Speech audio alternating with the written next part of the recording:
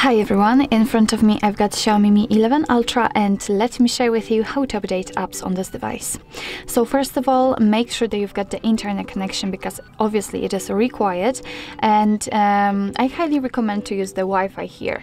So now let's find the Play Store, let's enter it and uh, after signing in, if you're not already signed, uh, just tap on this circle, which is your account. Now let's tap on Manage Apps and Device and enter Manage.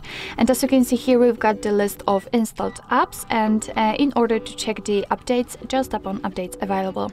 And as you can see, in my case, I've got 31 updates available. And all you have to do in order to update the app is to simply find it in this list and mark it. So I will pick the Gmail, for example. And of course, as you can see, you can mark um, much more updates, not only one.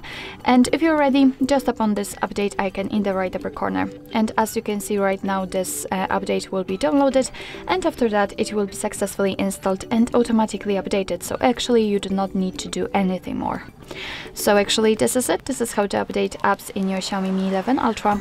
Thank you so much for watching. I hope that this video was helpful and if it was, please hit the subscribe button and leave the thumbs up.